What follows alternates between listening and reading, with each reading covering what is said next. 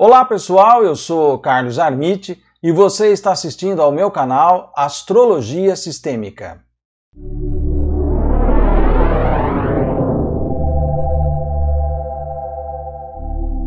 O que os astros nos reservam para a próxima semana?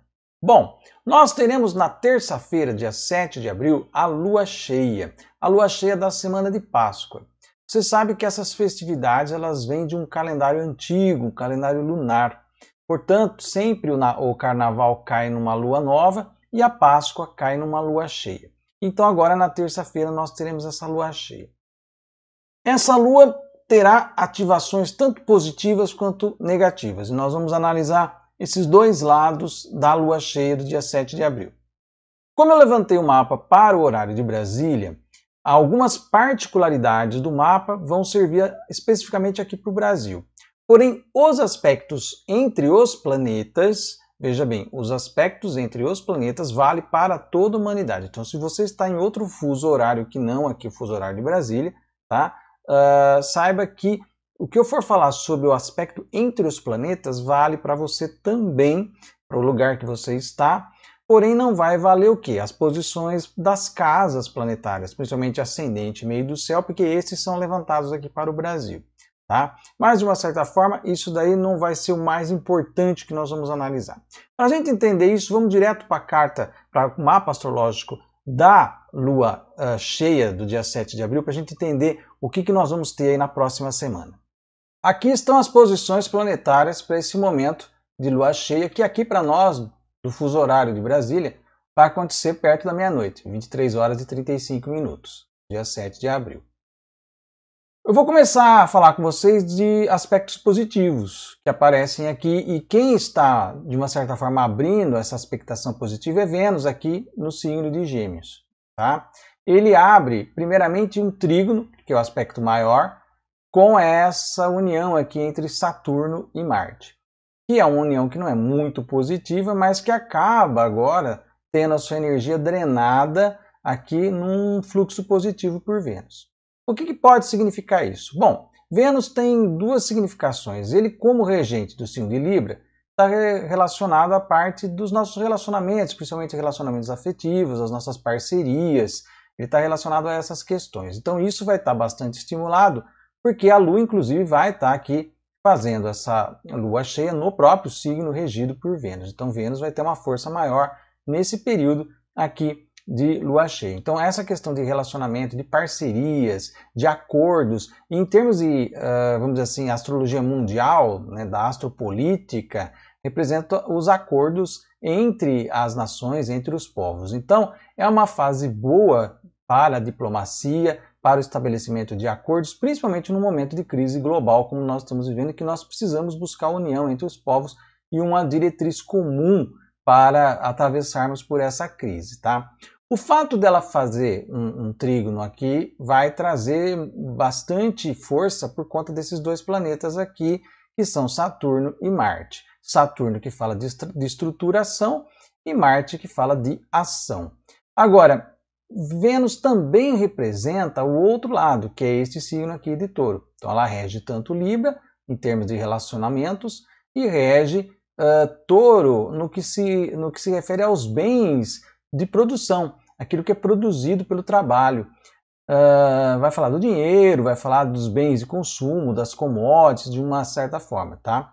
Então, o que, que eu entendo que pode representar essa questão, até porque envolve Saturno aqui, que tem a ver com as grandes organizações administrativas e tem a ver aqui com Marte, que é ação.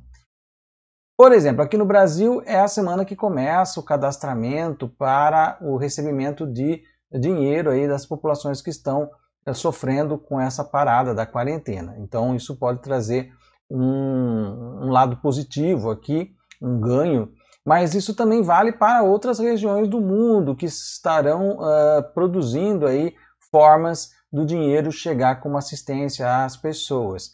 Mas também pode falar de acordos em relação aos insumos, principalmente os insumos médicos, porque Vênus também vai abrir um sextil aqui, que é um aspecto menor, junto também com Saturno e Marte, que também abrem sextil com esses dois que estão juntos aqui, que é Lilith e uh, Quiron, principalmente Quiron, que fala da cura, fala da, da questão da, da cura, é o médico, né, o curador ferido, relacionado a Lilith, que tem a ver mais com a questão daqueles que são colocados à margem do sistema, né, os chamados excluídos.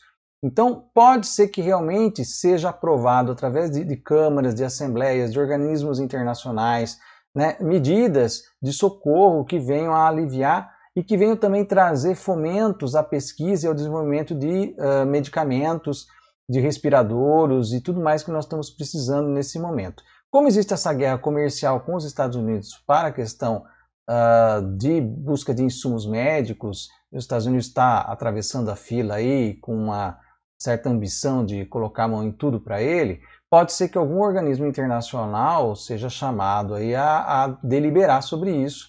Né? Então vem aí uma decisão positiva que tem a ver com a questão de produtos, de bens, principalmente relacionados à questão médica aqui, e também de socorro aos excluídos, aqui que tem a ver justamente com Lilith. Então essa é uma parte positiva.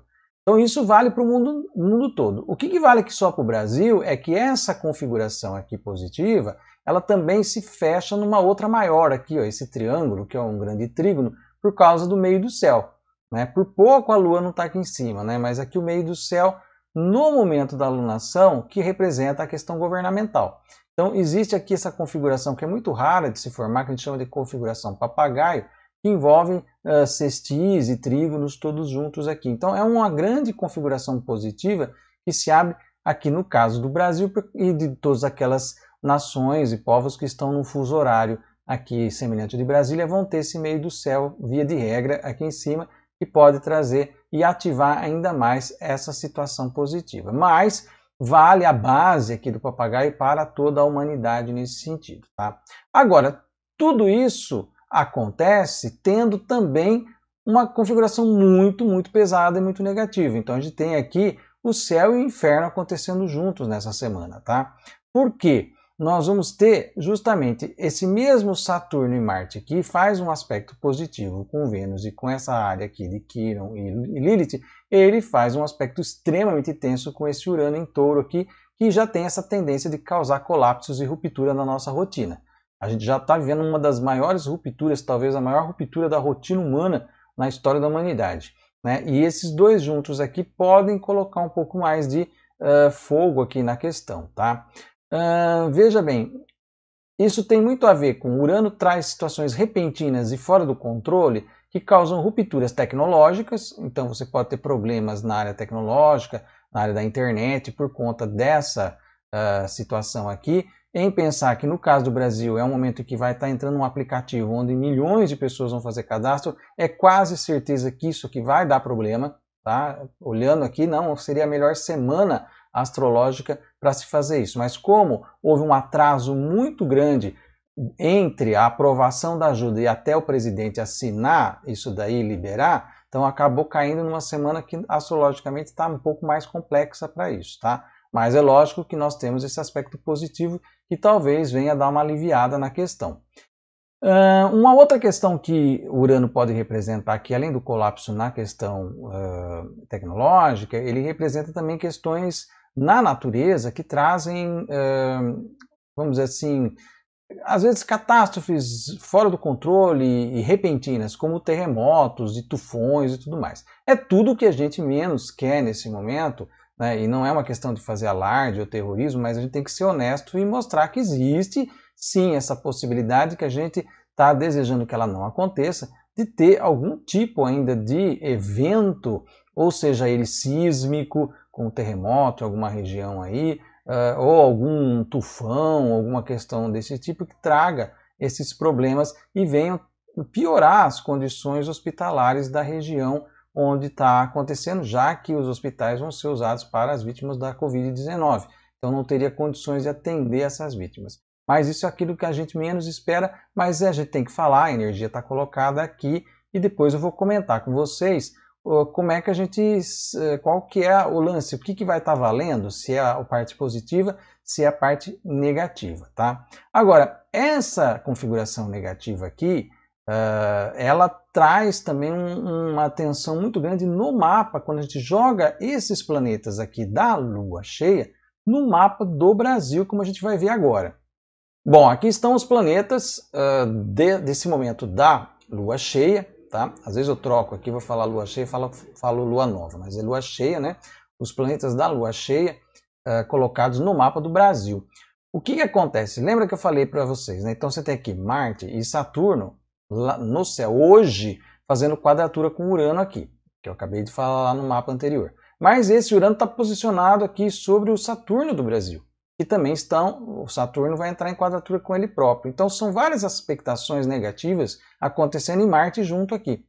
Tudo isso também do lado de lá, recebendo oposição e quadratura com Marte, em escorpião. E a lua nova acontecendo na casa 8, que representa mortes e lutos. Então, assim, para o Brasil, as configurações negativas elas criam uma tensão até muito maior do que as positivas quando colocadas aqui. Você vê que tem mais linhas vermelhas aqui de interação do que outra coisa. Né?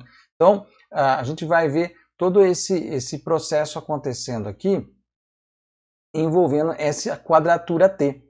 Né? Marte e Saturno, que são originariamente já em oposição no mapa do Brasil e que disparam crises toda vez que eles são tocados. O Urano está chegando aqui né? e ele vai disparar alguma ruptura institucional aqui, que a gente já falou isso em outros vídeos, né? Porque ele, ele chegou aqui, a última vez que ele passou por aqui foi quando Vargas instituiu uma ditadura no Brasil, tá?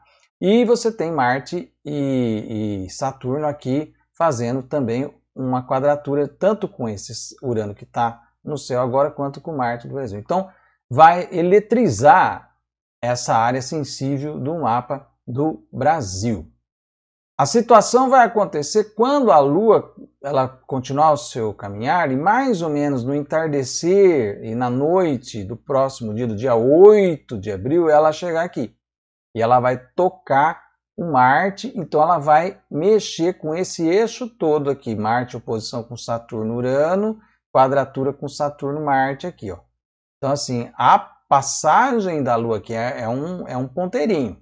Né? A passagem da Lua aqui, principalmente no dia 8, pode trazer um, uma tensão bastante grande no país. Tá? A gente tem que ficar de olho nisso porque não é uma energia muito boa. Aí você deve estar se perguntando, mas Carlos, o que, que vai estar valendo? Esse papagaio bonitinho aí, esse aspecto positivo, com vários trígonos de cestis, ou essa quadratura T medonha que está se colocando aí, que atinge um ponto nevrálgico do mapa do Brasil. Bom, gente, vai depender individualmente de com, com o que você está vibrando. Né? Se você estiver vibrando mais nessas energias positivas, evidentemente que você entra em sintonia com elas. Se você está vibrando mais nessas energias negativas, você vai entrar com essa energia da quadratura T aí. E a coletividade também. Olhando para o Brasil e usando como termômetro as, a termômetro as redes sociais, a gente vê que ainda você tem uma tendência muito mais para o negativo. Né? Até porque a gente viu que essas redes sociais elas estão sendo dominadas por robôs do ódio. Né? A gente tem um gabinete de ódio instaurado no Brasil que emite robôs que dominam a internet, levantam hashtags e vão criando, vão uh, fomentando uh, principalmente a ala mais fanática, mais fascista da, da, da coletividade, a entrarem em ebulição. Então, isso daí, evidentemente, com essa configuração de quadratura T, vai realmente ser muito, vão entrar em sintonia essas questões e aí a fervura pode realmente aumentar nessa camada da população mais fanática e pode trazer aí algumas situações não muito agradáveis, tá? Agora, as pessoas que estão botando a mão na massa, que estão procurando meios solidários, estão procurando alternativas de levar ajuda àquelas pessoas que estão agora necessitadas. É todo o pessoal que já está voltado para o lado mais solidário da união de todos contra o vírus, né, que tem essa visão e não uns contra os outros, a esquerda contra a direita. Quem saiu dessa, dessa polarização e está olhando que nós somos uma nação que temos que nos irmanar, nos congregar todos contra o vírus, uh, acatando as decisões não dos nossos dos, dos líderes uh, lunáticos que nós temos, mas das, das dos especialistas, cientistas, né, uh, daqueles que conhecem realmente o assunto de saúde pública, que conhecem a ciência, a virologia, a epidemiologia, a gente seguir as orientações dessa pessoa, dessas pessoas é o que nós podemos fazer de melhor enquanto sermos patriotas. Ser patriota hoje não é vestir o verde e amarelo e sair na rua uh, seguindo um líder cegamente, mas é simplesmente cuidar do seu próximo, cuidar do seu irmão do lado, para impedir que o vírus chegue nele, para impedir que o vírus chegue em você, que o vírus chegue na família. Essa é realmente a atitude patriótica. Quem sai de verde e amarelo na rua para fazer passeata, fazer gandaia, para adular os líderes aí que, que são contra a quarentena, não está sendo patriótico, está sendo advogado do caos e estão trabalhando realmente para o lado mal que vai levar o país, pode levar o país a uma crise sanitária sem precedentes e ao colapso realmente do seu sistema hospitalar por não cumprir as diretrizes dos cientistas, daqueles que realmente sabem do que fazer, o que deve ser feito nesse momento. Então, essa é a situação. Então, com o que você vai se conectar? É uma escolha sua. Você vai se conectar com essa energia do papagaio aí, energia positiva dos cistis e trígonos que vão estar se colocando aí na lua cheia, ou se conectar com as energias do ódio, da intolerância, do revanchismo político, né, da, da não ciência, ou seja, da loucura que está instaurada aí, do fanatismo e do fascismo. Se você se conecta com isso, se a maior parte da população se conectar com essa energia, infelizmente nós formamos uma egrégora que vai levar todo mundo para o abismo. Agora, se uma maior quantidade de pessoas se conectarem com a energia positiva desses trânsitos, nós poderemos conseguir sair dessa crise com mais tranquilidade do que as outras nações. E a escolha está nas nossas mãos. É aí que mostra a beleza que é a astrologia, que ela não determina o nosso destino, ela dá as condições e a gente faz as nossas escolhas e depois caminhamos em direção às energias que nós mesmos acolhemos e nutrimos no nosso interior. Fica essa reflexão para todo mundo aí. Esse é o recado que eu gostaria de deixar com vocês. Se você gostou desse vídeo, dê um like, deixe seu comentário, compartilhe aí nas suas redes sociais e se inscreva no canal, ativando o sininho para receber a notificação de novos vídeos. Eu vou ficando por aqui, até o nosso próximo vídeo e um grande abraço.